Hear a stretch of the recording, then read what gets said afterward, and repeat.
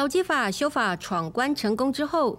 蔡英文政府执政的战场，接下来还要继续要面对的是国民党发动的反对核灾食品解禁公投，另外还有同志婚姻修法等等的挑战。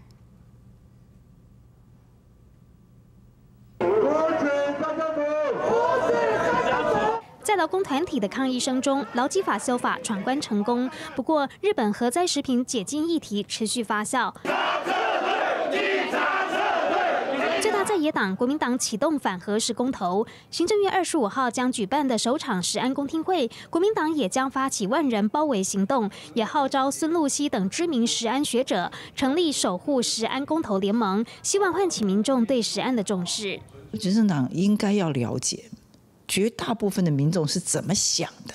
好，所以我觉得有这么一个公投是一个合合法的，呃，合而且是个等于是我们国民的一个可有的享有的权利。由于民意反弹声浪大，国民党蓄积能量要展开守护石安大战，也凸显蔡政府即将面对的执政挑战还有四大战场，包括何时开放、同婚修法、促转条例以及年金改革。现在国民党急着引爆石安地雷，新政府也急于扫雷，蓝绿壁垒分明。为了国家往前走，为了台湾的发展，哈，那战场我们还是要面对啊，不应该把对方当成敌人，而是应该当成是一个良性竞争的对手。然后就事论事，然后理性问政。